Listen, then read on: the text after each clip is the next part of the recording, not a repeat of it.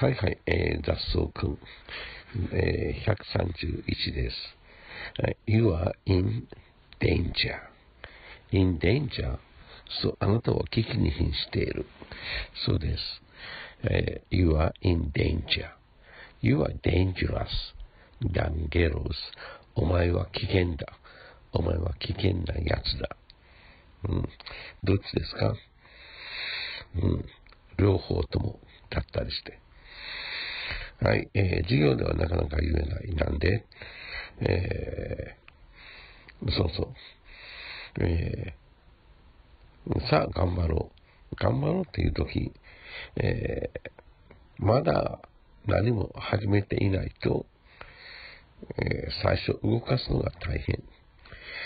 例えば、英検だったら、ね、英検の、えー、新学期、えー、受験した。落ちてもいい。やってみたら、落ちたら落ちたね。悔しい。悔しいから次やろうと普通は頑張る。そうですね。ところが、えー、やっていなくてさあこれからしようというと、だんだん時期を失ってしまう。ということが多い。はじめやるのはエネルギーがいる。エネルギー、エナジー、エナジー、エナジー、E-N-E-R、GY ね、エナジー。エネルギーはドイツ語。エネルギッシュ、これもドイツ語。はい、エナジー、エナジー、エナジェティック、エナジェティック、エナジェティック。だから、台風が来ようが、嵐、嵐、台風、台風、ナンバー14でしたが、超巨大台風、巨大台風、ラージ。台風ですね。えー、a large typhoon is coming, approaching, approach, approach に近づく。go near, go near, come near, come near ふと思いつくと、はい、near, near the park, in the park, through the park, through the park あそうすると全部一緒やな。これ一緒やな。うん。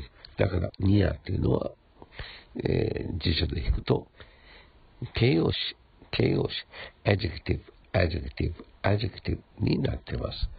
え動詞は verb, verb, verb。はい。ちょっと言語学の知識。はい。verbal contact, verbal contact。え言語行為。あ言葉を使う行為やね。あるいは、vowel, vowel, vowel, V-E-R-O, B-A-L, verbal behavior, behavior, behavior.